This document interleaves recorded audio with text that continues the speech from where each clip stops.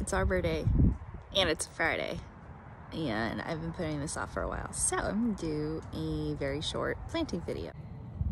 It's time to plant the lettuce and our mustards. I'm gonna start off with some butter crunch. In this particular bed, we're gonna do butter crunch and tennis ball lettuce and we're gonna spread them out. And then uh, when the time comes, we're gonna be putting tomatoes in here. But for now, it's gonna be lettuce. It's very healthy. I'm just digging some up. You can see they're nice roots. So they're coming out in some pretty good clumps. I'm very pleased with them. And yes, in fact, you do not need to use little plug trays, seed trays, 48, 72, whatever. Uh, sometimes you could just do a whole flat and just break them apart. It's easier in seed trays, but not always necessary. In this case, you could see I do fine. So you might be watching this and ask yourself, hey Chrissy, you plant stuff really close together all the time. Where are these spread out? Well, I'll tell you what I'm gonna do not today, but sometime this weekend, I'll be putting just lettuce seeds, a little diamond pattern around here to direct sow them. So get a little bit of this, a little bit of that. And the lettuce that'll grow in the middle will grow along with our tomatoes. So I'm gonna do the same thing over there. As it appears, I only ended up with four uh, Slobolt lettuce. That's what this is. I was willing to try it because it kind of reminded me of tango lettuce, which is one of my favorites. So, put that here. To get one of those wooden dowels where you just go like this and it's a hole.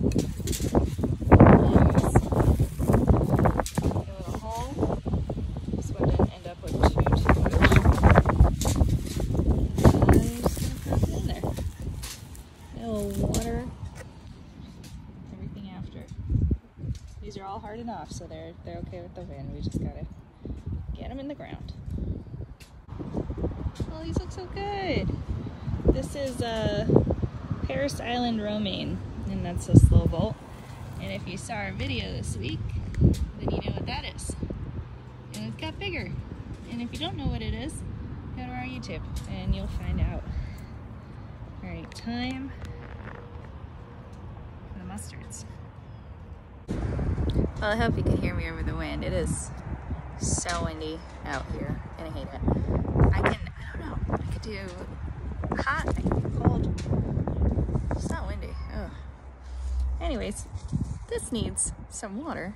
This is a Mizuna mustard, Mizuna Benetouche, to be precise. Um, I meant to plant these yesterday, so I didn't water them but I did not. So I'm planting them today. We're gonna give them some soil, give them some water, and this will perk right back up. Can also see here I have some tatsoi.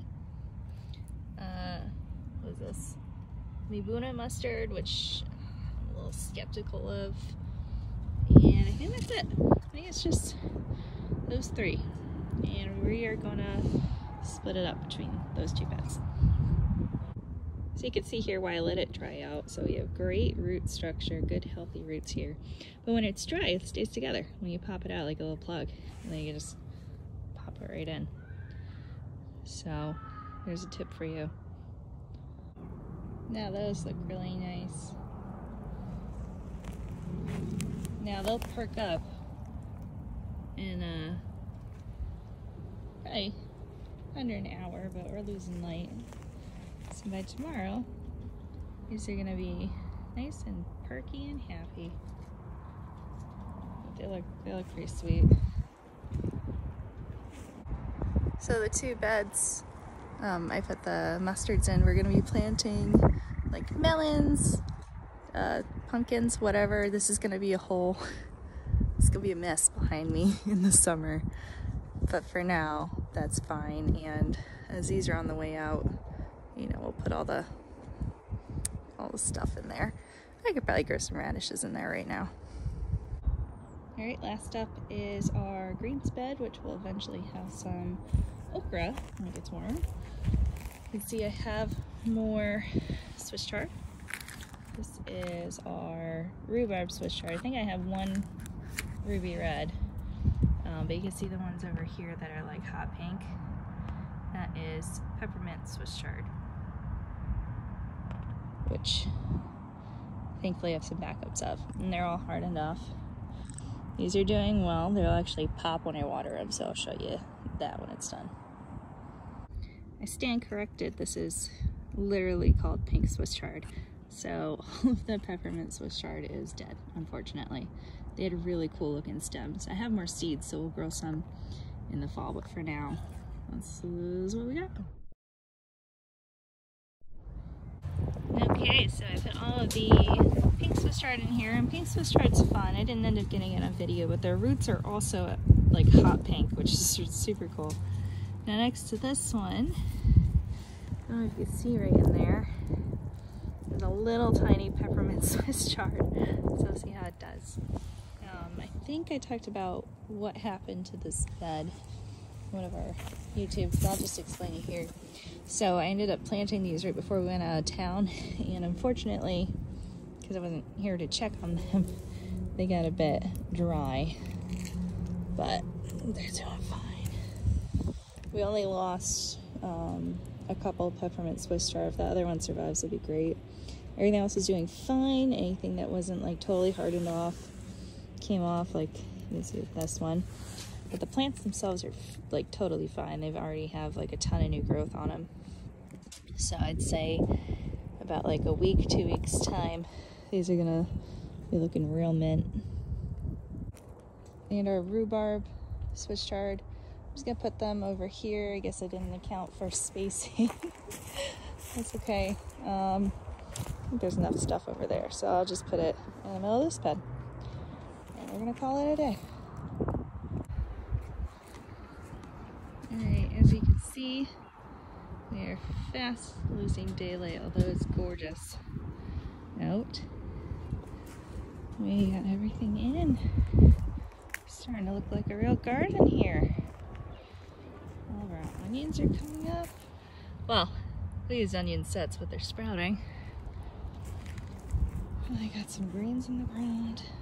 And I've been taste testing all of these as they've been growing. We'll put some beets in here. But yeah, all looks good. There's some of uh, Greg's Good Beer. This one of the IPAs he made. We didn't make a video of that one.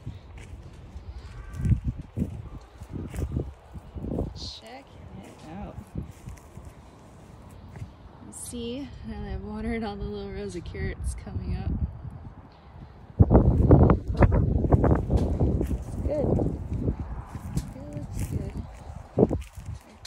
A video would not be complete without a little shot from the ladies. They're a little upset because I didn't let them run around because I had to plant things. But we'll get them, we'll get them sorted out tomorrow. Look at that view. Let me show you one more thing outside. And I think you'll appreciate it because it's Arbor Day.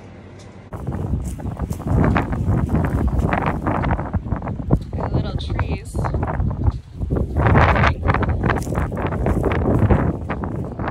That smelling, you can see. Isn't that gorgeous? But they are all more or less getting ready to get pollinated. Looks so good I'm especially excited for this Macoun because we didn't get that many flowers on it last year. Last year was the first year we planted it. And now it's like the whole thing has stuff on it over here. This is one of our pears. Look at that. This is a Park apricot, which is apparently also trying to flower. And then I don't know if this counts as a tree. I think it does. We have a contorted mulberry, which even as this little, I'm gonna guess it's either a sapling or a clone. It's very crooked. I'm, I'm impressed. Okay, so I'm gonna end this inside because I got cold because it's like constantly windy out. But we finally got our greens planted, which is amazing. I'm thrilled to see all the trees flowering out. Um, we have a video on YouTube about how we did our spring pruning of them. So if you want to check that out, it's, a, it's okay.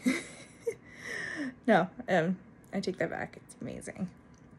Um, we actually use a book to help us prune those because while I grow a bunch of tropical trees, I actually had no idea how to grow like apples or pears or peaches. So that's new to me.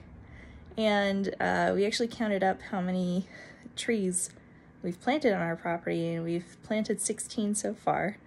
We have two more waiting to go in and that's not even including like all the other perennials or like fruit bushes we put in. So go team. if you're looking at all this and you're like, oh my god, I can never do that. Um, do a little bit at a time. I've killed so many plants. You're to kill plants. Just keep doing it and eventually you're to learn. Watch the YouTube videos. Get yourself some books online. If you just Google like top 10 books about gardening, top 10 YouTubers who garden, and you look at like many lists of that, you're probably going to see some stuff cross over. You'll see certain books keep popping up, certain content creators keep popping up, and those ones that keep popping up, check them out. Or I'm sure we're not on Google, but if you're watching us either on YouTube or Instagram, hi. Thank you for your support. We do appreciate it. And sorry, I don't know if you can find us on Google. If you can, let me know because that'd be pretty cool. But keep trying, keep experimenting. You're not going to know what works for you, uh, where you live, uh, your your capacity to like keep up with stuff until you do it. And that takes trial and error because it's unique to everyone. So that's my two cents on that. I hope everyone has a great weekend. We are in the last weekend of April, going into May, and I love May for a lot of reasons. It's a good planting month also, so just so you know. So I'm gonna enjoy my Greg's Good beer and I'm gonna look at our um, greenhouse and figure out that because I gotta deal with that this weekend too. I hope you take care and we'll see you next week on YouTube or probably here tomorrow on Instagram. All right, take care.